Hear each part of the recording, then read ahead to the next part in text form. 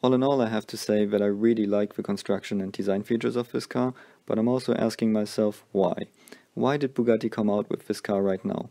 For the last 20 years they developed and used the technical platform with the W16 engine that Veyron and Chiron are using, and Bugatti still doesn't earn any money for VW, and until the end of the year VW wants to sell the brand, supposedly to Rimac. So why spend so much money right now to develop a completely new car where every component except the drivetrain is different? I would have guessed they want their numbers to look as good as possible for the sale. First, when I saw the prototype, I guessed that this is Bugatti's race car for the new Le Mans Hypercar series, and I expected a much smaller combustion engine and a hybrid powertrain to comply with the regulations.